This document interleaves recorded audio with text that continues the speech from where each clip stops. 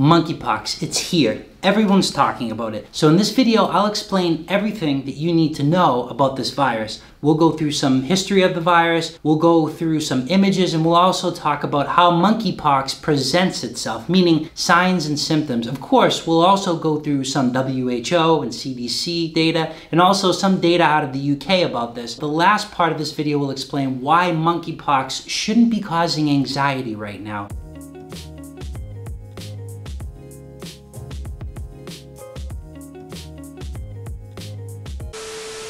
But before we begin, please like this video, subscribe to the channel, and hit that bell in the bottom right hand corner so you can be notified when my new videos come out. Also, click my social links in the description below if you want more content like this. I post extra exclusive content on Substack and Patreon if you're interested. Oh, also, I have YouTube memberships now that give you access to more content. Just click the join button above. Anyways, let's get into this.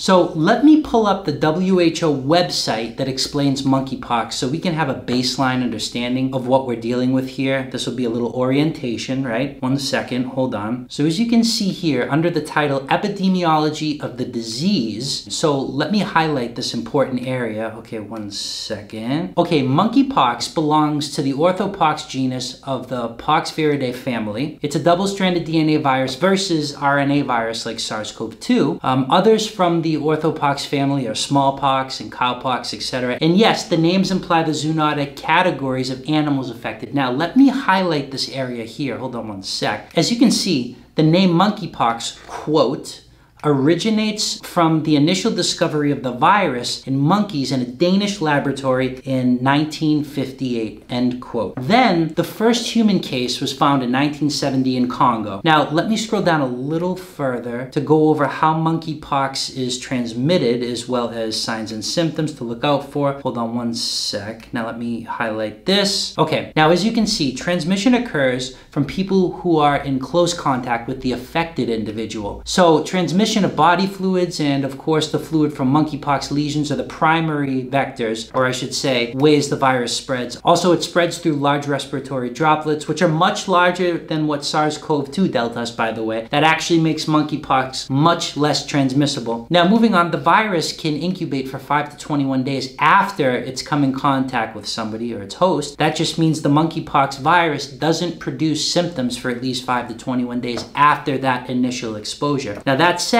let me open this next website from CDC and I'll highlight this interesting point here. Hold on one sec. Now, as you can see, the CDC claims currently monkeypox has a high proclivity to affect gay men. I think, yet again, the CDC has failed to provide accurate information. I feel this has less to do with sexual orientation and more to do with the fact that intercourse puts you in close proximity and contact with an affected individual, which is the largest risk factor for contracting the monkeypox virus, aside from your age. So this also affects very young kids, um, very old people, and immunocompromised people. Anyways, let me pull up my Substack post on this to show you some images of what this looks like. Hold on one second. Now, look here. This is how the virus presents in monkeys. You can see um, large lesions on the face here. Now, let me scroll down to another image. Give me one second. Hold on. So now, in humans, lesions can pop up in many places. Here in these pictures, we see them on the hands. And moving on, on the right is an image of progression. So the lesions form, then crust over and leave scabs, as you can see on the right here. Now, initial symptomology does not begin with these lesions. Instead, a fever, a sore throat, fatigue usually happens first, and then a facial rash occurs. Only after that, within days, the lesions typically appear all over the body. Another important point about monkeypox is that it induces swollen lymph nodes. In other words, lymph nodes near affected areas can and likely will be swollen. Now, this doesn't necessarily happen with smallpox, so there's that distinguishing factor right there. Now, I'm going to put up a chart on the screen screen real quick. Hold on one second. So according to the most recent WHO data, there are only 92 confirmed cases and 28 suspected cases of monkeypox. The problem is, as you can see from this chart, currently monkeypox is being seen in areas it historically has never been seen in. So health authorities are raising the alarm about this currently. I don't feel it's necessary yet, but that's just me. Finally, there is a vaccine for this, but I highly doubt after everything that transpired with COVID-19, people will be as likely to indulge. Um, however, we'll see, right?